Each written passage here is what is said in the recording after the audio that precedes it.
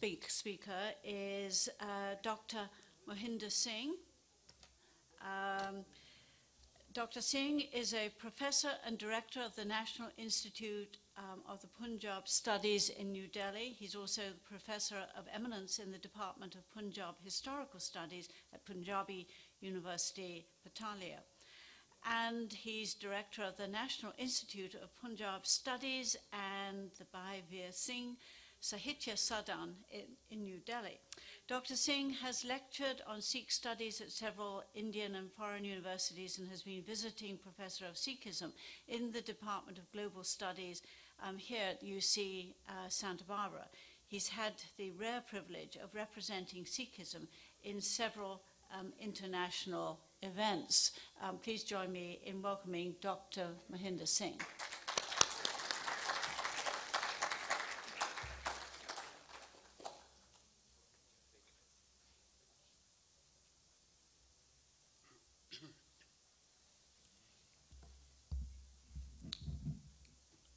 Madam Chairperson and friends, I think it's appropriate that we acknowledge the two people,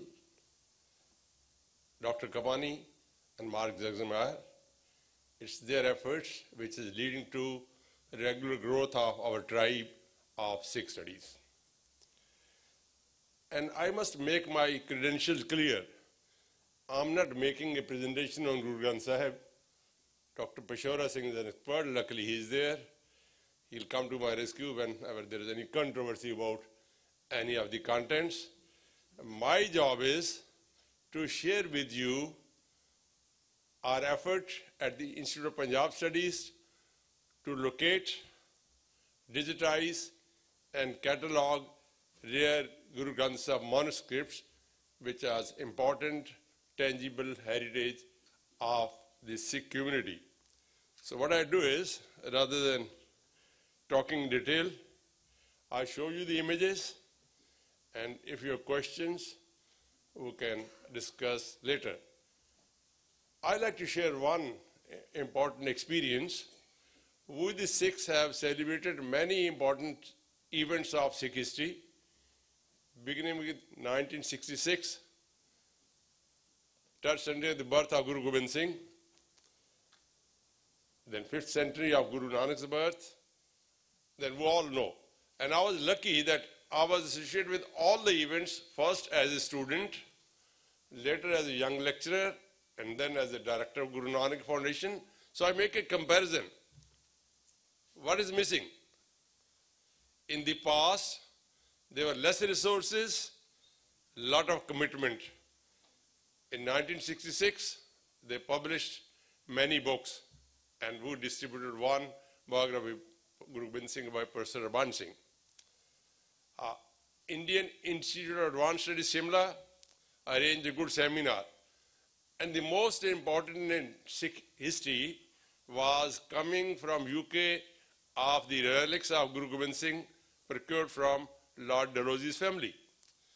And now we have 100 crores here, Modi Sahib announced 100 crores, SGPC announced 100 crores, and Punjab government also announced 100 crores. I think it's a big amount. I don't know how to convert it into dollars. But it's a massive billions of. But what is happening? I was asking Sir Tarlochan Singh, uh, where is that 100 crores gone? I don't know. So, we in our institute try to correct the imbalance by focusing on academic celebrations of these events. So first of all, I'll show you the images, then we talk. How do we? Yeah. Uh, to start the story, I'd like to begin with Guru Nanak. Uh, this is very well-known Janamsakhi painting. The way they are describing the birth of Nanak. This painting I use to build bridges between friendship of Sikhs and Muslims. Who was the first person who had a glimpse of Baba Nanak? It was a Muslim nurse, Daulata. And who was the lifelong companion of Guru Nanak? Again, it was a Muslim called Mardana.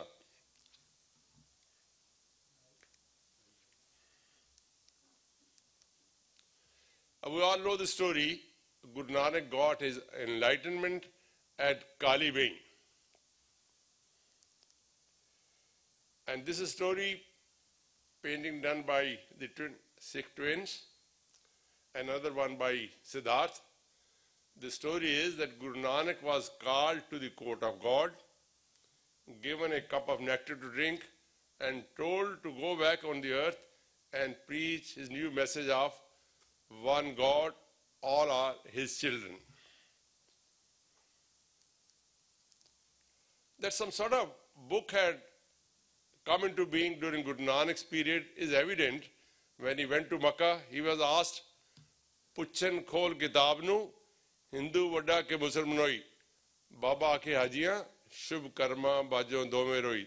Then when he went to Makkah, he was asked, open thy book and tell us who is big, who is great. And Guru's reply was, without good action, both are useless. So this book has come into being. Uh, this is the early script used for writing the copies. We were lucky, we were able to get pictures of this palki in which manuscripts of Guru Granth Sahib called Mohan Pothiyan were kept. It's still intact in Goindwal. Some of the murals which are being removed from some of the historic buildings, we have been able to collect their photographs. And this is a Guru Granth Sahib manuscript in Bhai Vir Singh collection. Uh, there's a dispute about whether the authenticity or maybe the period of this. It is for Dr. Pashaura Singh and others to settle this controversy, but this is believed to be the oldest. They would have a copy in original. Now, this is very important sort of painting from a Guru Granth Sahib manuscript in the National Museum. Now, we know the story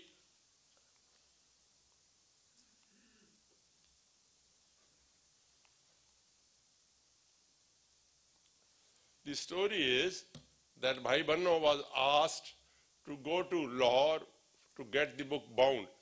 And on the way, he made a copy. So when he returned to Amritsar, he brought two copies instead of one. Imagine the sensitivity of the artist. What he has shown is Guru Granth Sahib is higher, in the higher pedestal, and the Guru's chair is on a lower pedestal. Respect for Guru and canopy is on the Guru Granth Sahib manuscript, not on the Guru himself.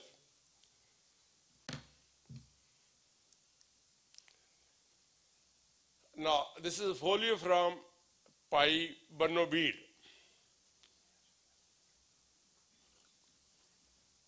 With the Sikhs, they started calling it Khari bir. Khari bir.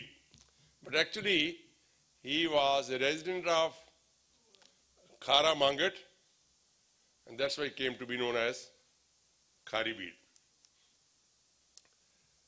Uh, this an image from the first ever authenticated copy of the Guru Granth Sahib manuscript called Kartarpuri bir. It's not easy to get a copy or have its darshan. Uh, this image I'm using from our friend Dr. Pashaura Singh's collection. Uh, We know the story how this Granth was carried to the Golden Temple and installed. Now, there are families in Malwa area, seven families, which have the original relics of the Gurus, sixth Guru onward. And the two families, family of Bhai Rupa, Bhai Rup Chand was a person who arranged the marriage of Guru Gobind Singh. So Bhai Rup Chand was the person who arranged the marriage of Guru Gobind Singh.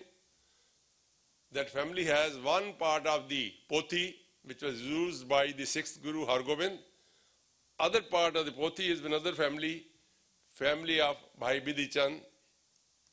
This, this Bhai Rupa. Now, this is another folio from the Kartarpuri manuscript. with Mool Mantra written in the hand of the sixth Guru. The method was when the volume is complete, Guru will write in his own hand Mool Mantra as a certification that, okay, I've seen it, this is correct, this is certified by writing Mool Mantra. So this is six Gurus. Now, I don't know the latest, this is three, four years old pictures. Look at the condition, that was the purpose of my making this presentation. We're spending lots and lots of money in creating marble structures, in putting a lot of gold on them. But what happens to our original heritage? We are the only community which has authenticated Guru Granth Sahib manuscripts. Whose heritage is this? This is what we have to decide. Now, Mool Mantra again written in that bir, uh, believed to be in the hand of Guru Hargobind. It's really difficult because there's no procedure of doing DNA of these handwritings of the Gurus. So you have to go by what is called popular history or the belief. Now the sixth Guru Hargobind, we all know after sixth Guru onward, Gurus were not allowed to visit the Golden Temple. So they stayed in Malwa area. Guru Hargobind stayed in the Haveli of Sai Das Sangha, who was Sandhu, brother-in-law of the Guru. It was that in Haveli that Ratan Singh's family has many relics who have been able to take their photographs and get them conserved also. now the story was told by Gyani Gurdit Singh, he has passed away that Kartarpuri bead, it's written in the margin, Shud Gije, please correct, there are some mistakes. So this is the corrected version. Who could with a lot of effort get it digitized and take these pictures. Now his son refuses to own this. He says, I don't know where the manuscript is. It is there, but maybe. So we were able to get it photographed during the lifetime of Gyani Gurdit Singh. Uh, this, we recently copied this manuscript from the Punjab State Archives in Patiala.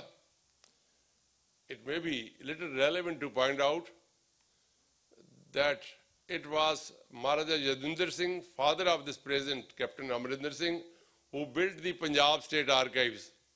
And it is Captain Amarinder Singh who has taken the archives to unknown buildings lying in sacks and the building archives become the heritage hotel. So you enjoy heritage wine after losing your tangible heritage. Now this is one manuscript which is very important for me. Uh, this, this folio is written normally this nishan is written on a paper and pasted. But this manuscript is written on the original page. So that has become more important rather than those which are pasted later. Uh, this Guru Granth Sahib manuscript is with the Punjab Institute at Chandigarh. I'm told this is in bad shape, but we have no control over the university. Who can conserve it? How do we look after this? That remains an unresolved issue. Now here I think I need to comment. In the morning we were talking about Patna Sahib connection. We are thankful to the Chief Minister of Bihar who arranged a mega show, very nice celebration. But this is a place where 35 real good manuscripts are lying unattended to. Now this is the handwriting of Guru Gobind Singh in the manuscript. This needs conservation, you can see the, this is the Guru's hand, and you can imagine what is the state of this real good Guru Granth Sahib manuscript in Takhat Patna Sahib.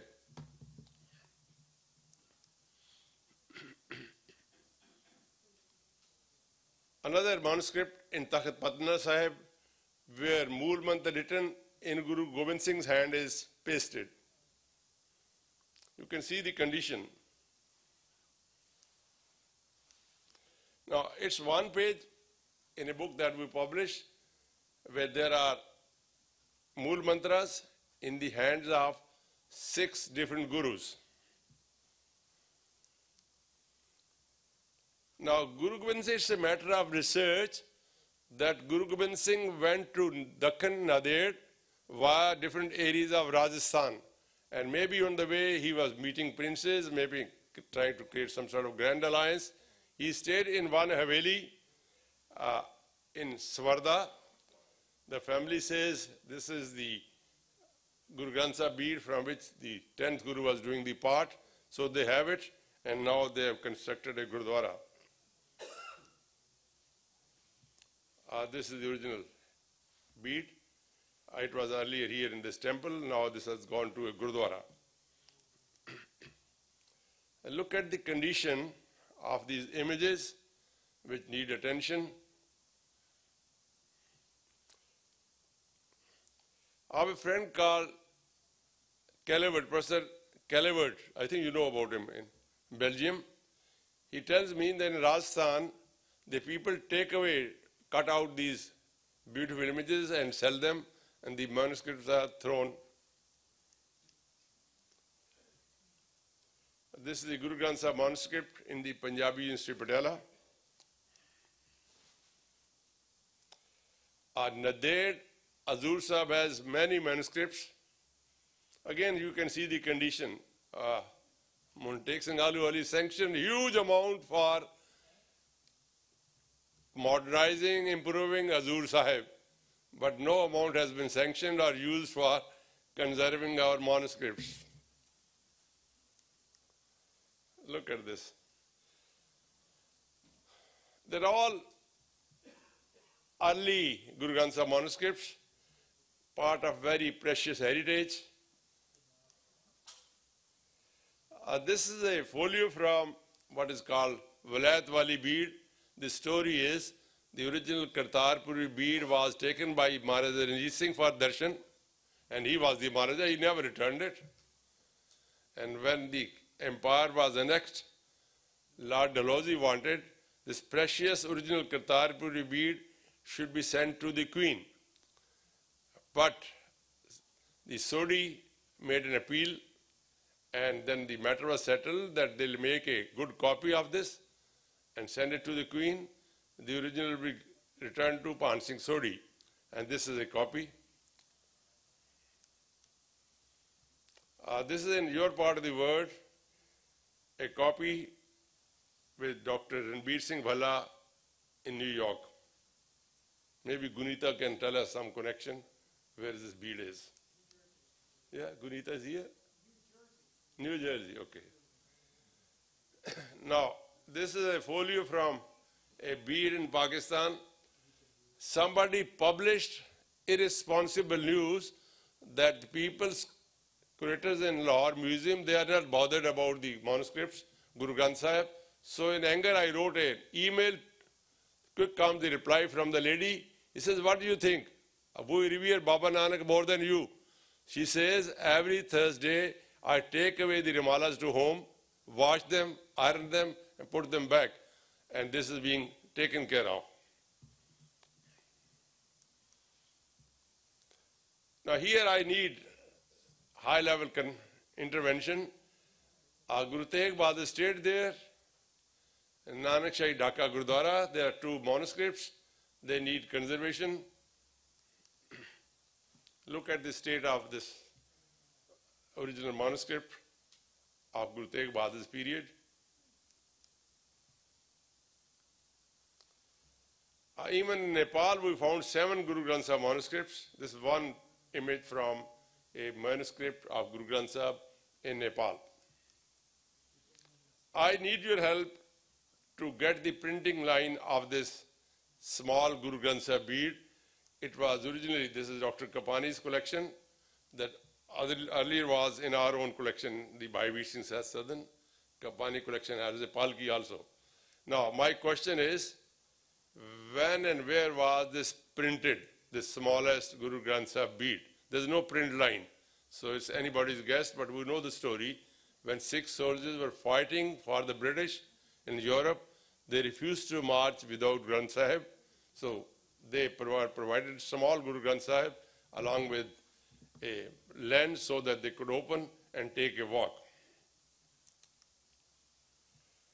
Uh, the chief Khalsa Diwan at Amritsar has 35 rare Guru Granth Sahib manuscripts, which are fortunately in good condition. Look at the binding. These days, I'm working with Bhai Vir Sadan. The old first editions, they are very well bound. They have less resources, but a lot of devotion. Now, we do a lot of things on commercial basis, economic basis. So this is, imagine how much good binding was done of the manuscripts. Uh, this is a manuscript. Dr. Bishar knows about the controversy in the Guru Nanak University at Amritsar. This is called Sunhari bir. Not that there is anything Sunhari inside, but because there is a binding of done with five kilo of gold. So this is displayed on special occasions in the Golden Temple.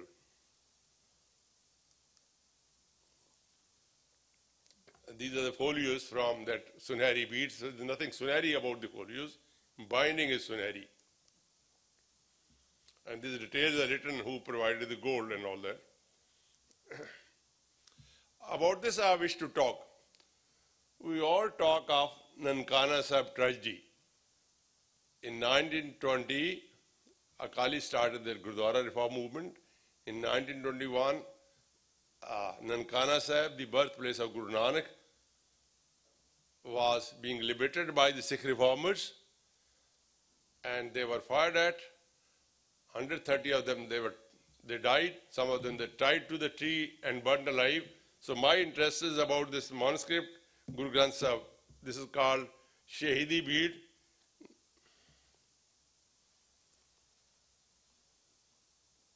So this is the proof that this has bullet marks. Uh, this is the evidence of its being original source. But I'll tell you the story that this evidence has been removed, this has been recreated. Susan Strong and others, they can debate whether this is the good procedure of recreating, I mean, destroying the evidence. They are repaired so that there's no damage done. So when the children ask, is, was it really damaged? So I won't be able to prove it. Now, this is the Guru Granth Sahib bir which was damaged while army action in 84. Uh, this is called Zakhmi. First is Shahidi, this is Zakhmi. And I'm told even this is being repaired.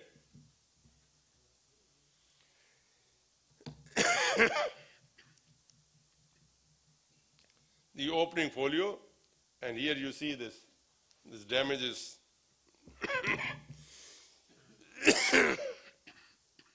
just a. I wanted it to remain as it is. Maybe conserved in such a way so that original mark remains intact as a part of our history. But I'm told this is being repaired. I don't know how they're doing. Everything done under the guidance of the Kar Seval Babe. Uh, they don't listen to anyone, and we don't have moral authority to control them. The other day, I was talking with Manjeet Singh, who became the president of the Gurdwara Committee again after four years. And you know, one corner is occupied by the Kar Seva Babas in shabby condition, uh, dirty toilets. I said, why don't you improve this also? You have enough money. He says, you can't touch Baba's property. Why? Because they have no moral authority.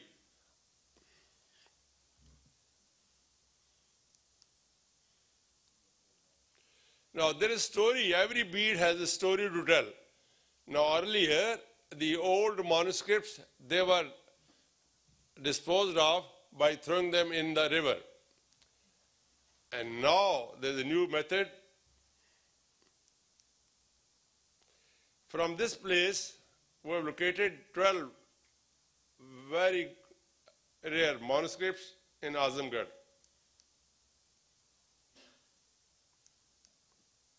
Now, here, friends, you can imagine the devotion with which they are cleaning the old manuscripts.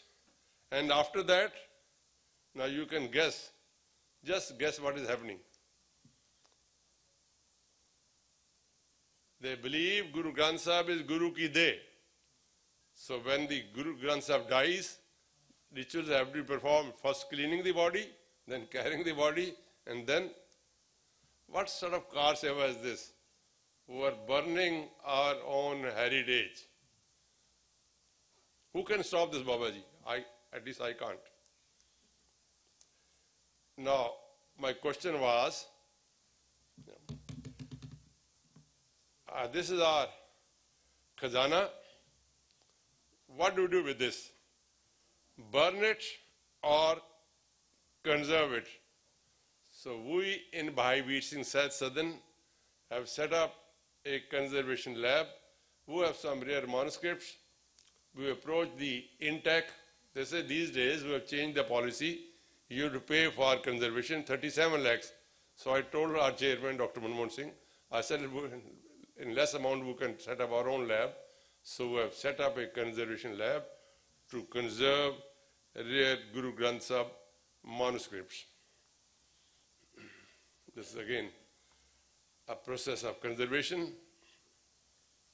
It's really difficult to deal with the Sikh Babas and those who control the Akal Takht. Now, how do you conserve it? You can't take the folio out, you have to put the chalni all the time, 24 hours. It's difficult. So that earlier method is better, just dispose it off. Uh, in 1999, we took up a project of locating, photographing, and cataloging relics of the Sikh Gurus and historic personalities. We published eight pictorial books and also got some of the relics conserved with the help of INTACH and other conservation bodies in India.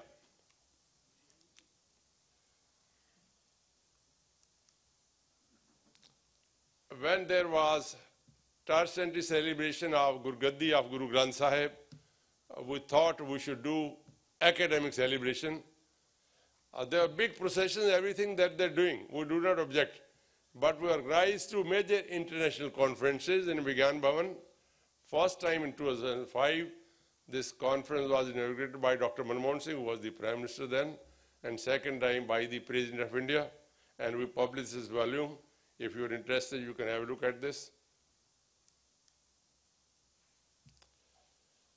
Now, we have been able to digitize about 300 very, very rare manuscripts and prepared catalog in four volumes.